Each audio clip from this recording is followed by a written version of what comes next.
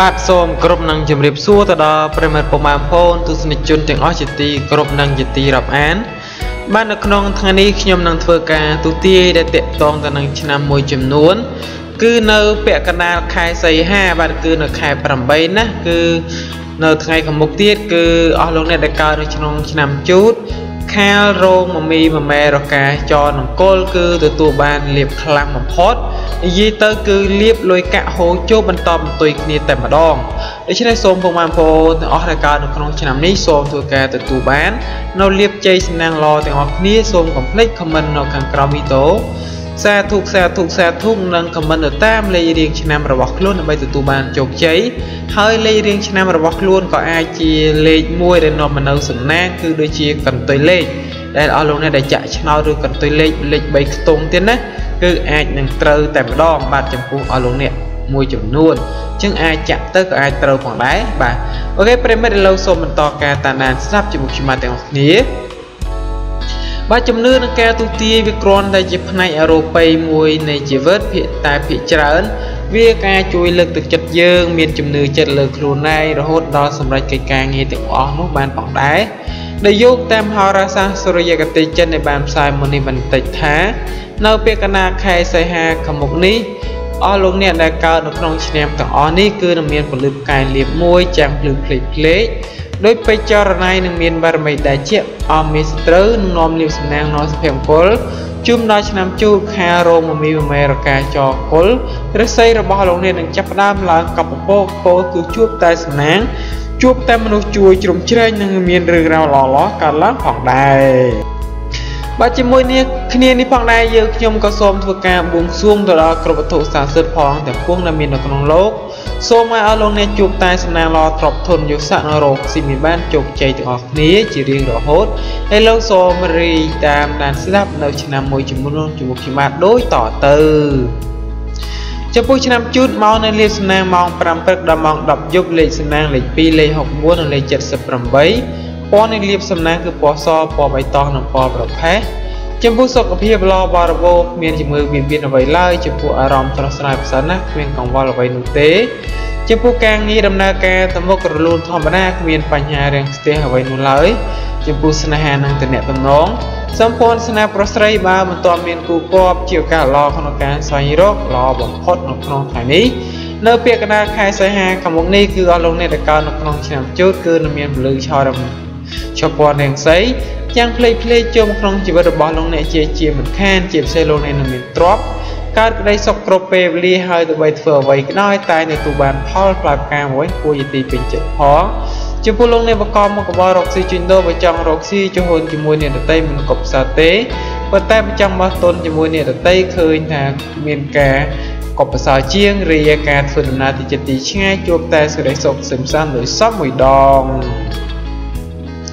ចំពោះឆ្នាំខាលម៉ោងលាបសំណាងគឺម៉ោង6ព្រឹកដល់ម៉ោង9យប់លេខសំណាងលេខ1លេខ14និងលេខ45ពណ៌នៃលាបពណ៌សនិងពណ៌ខៀវនិងពណ៌ស្វាយចំពោះសុខភាពល្អបរិបូរគ្មានជំងឺបៀតបៀនអ្វីឡើយចំពោះអារម្មណ៍ស្រស់ស្រាយប្រសើរណាស់គ្មានកង្វល់អ្វីនោះទេ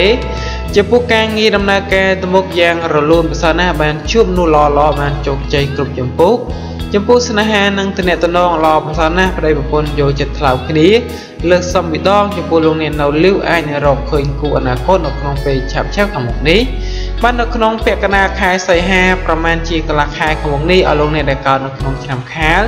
លោកអ្នកនឹងមានសំណាងរកស៊ីមានបានជោគជ័យទាំងអស់គ្នាធ្វើអ្វីមួយយ៉ាងរលូនរាល់កិច្ចការងារទូចធំផងដែរ មកបន្តមកទៀតចូលមកដល់ពុកម៉ែបងប្អូនដែលកើតនៅក្នុងឆ្នាំរោងម៉ោងនៅលិសនាម៉ោង7ព្រឹកដល់ម៉ោង6ល្ងាចលេខសំណាងលេខ5លេខ25និងលេខ66ពណ៌នៃលាបពណ៌ស្វាយក្រហមនិងពណ៌បៃតងចំពោះសុខភាពល្អបរិបូរគ្មានជំងឺបៀតបៀនអ្វីឡើយចំពោះអារម្មណ៍ស្រស់ស្រាយប្រសើរណាស់គ្មានកង្វល់អ្វីនោះទេចំពោះការងារដំណើរការទៅមុខយ៉ាងរលូនប្រសើរណាស់បានជួបនោះល្អល្អបានជោគជ័យគ្រប់ចំពោះស្បែកភារកិច្ចថ្មីចំពោះស្នេហានិងអ្នកតំណង បញ្ហាស្នេហាវិញបើមិនទាន់មានគូគប់ពេលនេះគឺជាពេលវេលាល្អបំផុតក្នុងការស្វែងរកមិត្តមួយឆ្នាំក្នុងជីវិតនៅក្នុងថ្ងៃនេះនៅពាក់កណ្ដាលខែសីហាខាងមុខនេះអស់លោកអ្នកដែលកើតនៅក្នុងឆ្នាំរោងលោកអ្នកនឹងមានលៀបមានជ័យមានប្រកាសគ្រប់ទិសទីចំណែកការធ្វើដំណើរទៅណាមកណាមិនជាមានបញ្ហានោះទេចំពោះលោកអ្នកប្រកបមុខបរអុកស៊ីជីដូលោកអ្នកកុំសោះអង្គើយត្រូវរវាដៃជើងព្រមដូចនេះទេទ្របលៀបដែលរងផ្លែដល់ដៃ នឹងត្រូវបោកហួសធ្លាក់លើនៅដតីជាជាមិនខានឡើយរីបញ្ហាស្នេហាវិញបើមិនទាន់មានគូគប់ពេលនេះគឺជាពេលវេលាល្អប្រពៃបំផុតបាច់ពុឆ្នាំមមីបានមកនៅលេខសំណាងម៉ោង8ព្រឹកដល់ម៉ោង8យប់លេខសំណាងលេខ8លេខ40និងលេខ60ពណ៌នៃលាបពណ៌ប្រភេទពណ៌លឿងខ្ចីនិងពណ៌ខៀវចំពោះសុខភាពល្អបរិបូរណ៍គ្មានទីមួយវាមានអ្វីឡើយ ចំពោះអារម្មណ៍ស្រស់ស្រាយផ្សារណាស់គ្មានកង្វល់អ្វីនោះទេចំពោះការងារដំណើរការទៅមុខយ៉ាងរលូនផ្សារណាស់បានជួបនោះល្អល្អបានជោគជ័យគ្រប់ចំពោះសម្រាប់ភារកិច្ចថ្មីចំពោះស្នេហានិងតំណែងតំណងសេចក្តីស្នេហ៍ប្រស្រីបើចង់ធ្វើការជារើសគូស្គាល់តែងតែជួបគូពេញពិតដោយសេចក្តីប្រាថ្នាបាទគឺនៅពាក្យកណាខែសីហាខាងមុខនេះលោកអ្នកដែលកើតនៅក្នុងឆ្នាំមមេគឺនឹងមានលៀបមានជ័យរិស័យសុស្ដី មានលៀបធំចាំងចូលក្នុងជីវិតរបស់លោកអ្នកជាជាម្ខានដូច្នេះលោកអ្នកធ្វើអ្វីមួយ តែងតែសម្រេចនូវផលជោគជ័យជានិច្ចរាល់ការបង្កប់មុខរបររកស៊ីទទួលបានសំណាងល្អទាំងអស់គ្នាការធ្វើដំណើរទៅណាមកណាជួបតែសុខសុវត្ថិភាពទាំងពេលទៅនិងត្រឡប់មកវិញបាច់ចំពោះឆ្នាំមួយម៉ែគឺមកនៅលេខសំណាងម៉ោង6ព្រឹកដល់ម៉ោង7យប់លេខសំណាងលេខ7 87 97 ពណ៌នៃលាបពណ៌លឿងពណ៌ទឹកក្រូចនិងពណ៌ស្វាយចំពោះសុខភាពល្អបរិបូរណ៍គ្មានជំងឺបៀតបៀនអ្វីឡើយចំពោះអារម្មណ៍ស្រស់ស្រាយផ្សើណាស់គ្មានកង្វល់អ្វីនោះទេចំពោះការងារដំណើរការមុខយ៉ាងរលូនផ្សើណាស់បានជួបនោះល្អល្អបានជោគជ័យគ្រប់ជំពូកសម្រាប់ភារកិច្ចថ្មីចំពោះស្នេហានិងអ្នកតំណងសក្តិស្នេហ៍ប្រុសស្រីបើចង់ធ្វើការជារើគូស្គរតែងតែជួបគូពេញពិតដោយសក្តិប្រាថ្នា នៅពាក់កណ្ដាលខែសីហាកំងនេះលោកអ្នកដែលកើតនៅក្នុងឆ្នាំម៉ែលោកអ្នកធ្វើអ្វីមួយនឹងមានជោគមានជ័យម្ល៉េះហើយទៅវិញធ្វើអ្វីតែនឹងផ្ដល់ផលល្អជោគជ័យរកស៊ីមានបានសុខស្វារភាពការធ្វើដំណើរទៅណាមកណាជួបតែសេរីសុខសេមសានទៅពេលទៅនឹងមកវិញរីឯសេរីស្នាប្រុសស្រីនឹងមានភាពស្រស់ស្រាយផាមហាប់ចំពោះគ្នាប្របីបាច់ចំពោះឆ្នាំប្រកាម៉ោងនៅលៀបសំណាងម៉ោង5ព្រឹកដល់ម៉ោង8យប់លេខសំណាងលេខ4លេខ50 4និងលេខ76ពណ៌និងលាបពណ៌សពណ៌ស្វាយនិងពណ៌លឿងចំពោះសុខភាពល្អបរិបូរគ្មានជំងឺបៀតបៀនអ្វីឡើយចំពោះអារម្មណ៍ស្រស់ស្រាយផ្សណាគ្មានកង្វល់អ្វីនោះទេចំពោះការងារដំណើរការថ្មុកយ៉ាងរលូនផ្សណាបានជួបលុះល្អជោគជ័យគ្រប់ពិភពសម្រាប់ភារកិច្ចថ្មីរីឯស្នេហាតំណែងសម្ព័ន្ធស្នេហ៍ប្រស្រីបើមិនទាន់មានគូគប់ជាឱកាសល្អក្នុងការស្វែងរកមិត្ត100ឆ្នាំក្នុងជីវិតនៅក្នុងពាក់កណ្ដាលខែសីហាខាងមុខនេះ លោកអ្នកដែលកើតនៅក្នុងឆ្នាំបកានឹងមានពលិឆពាន់ទាំងស្អីចាំងផ្លេកផ្លេកចូលក្នុងជីវិតរបស់លោកអ្នកជាពិសេសលោកអ្នកនឹងមានទ្រព្យមានលៀបកើតក្តីសុខគ្រប់ពេលវេលាហើយធ្វើអ្វីក៏ដោយតែងតែទទួលបានផលផ្លែផ្កាមកវិញគួរយទីពេញចិត្តចំពោះលោកអ្នកបកបមុខបររកស៊ីជួញដូរបើចង់រកស៊ីចូលហ៊ុនជាមួយអ្នកដទៃមិនកុបសោទេប៉ុន្តែបើចង់បោះទុនទុយធំសម្រាប់ខ្លួនឯងវិញឃើញថាកុបសោជាងការធ្វើដំណើរទីចិត្តទីឆ្ងាយជួបតែសេចក្តីសុខសេមសានដោយសមមួយដង រេបញ្ញាស្នេហ៍ប្រស្រីមានភាពស្រស់ស្រាយផ្អែមល្ហែមចំពោះគ្នាប្របីបាច់ចំពោះឆ្នាំចបាទគឺម៉ោងនៅលៀបសំណាងម៉ោង6ព្រឹកដល់ម៉ោង6ល្ងាចលេខសំណាងលេខ1លេខ16និងលេខ56ពណ៌នៃលៀបសំណាងគឺពណ៌ផ្កាឈូកពណ៌បៃតងនិងពណ៌សចំពោះសុខភាពល្អបរិបូរណ៍គ្មានជំងឺបៀតបៀនអ្វីឡើយចំពោះអារម្មណ៍ស្រស់ស្រាយប្រសើរណាស់គ្មានកង្វល់អ្វីនោះទេ